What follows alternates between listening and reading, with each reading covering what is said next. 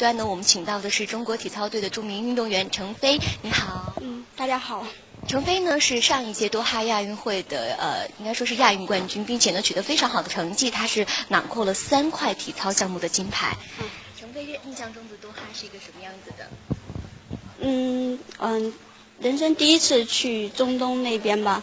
嗯，第一印象特别炎热，因为感觉那个地方确实是特别干旱，然后缺水。但是非常神奇的是，嗯，我们那次参加亚运会，就是他号称说是五十年都不带下过雨的，结果在闭开幕式和那个我们出去玩的那天就下起了大雨。我们说这个 日子赶的实在是不知道是好呢还是不好。因为呃，多哈亚运会应该说是你职场生涯当中第一次参加亚运会，对不对？对。你知道呃，广州亚运会在明年即将举办了吗？嗯，知道。所以有没有信心或者是备战我们的广州亚运会？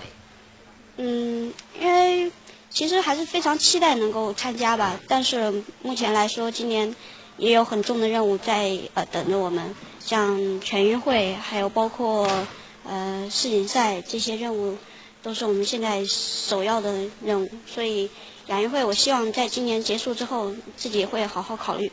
嗯好，那我们也非常的期待着我们广州亚运会的时候能够看到程飞以运动员的身份在我们的赛场上，好吗？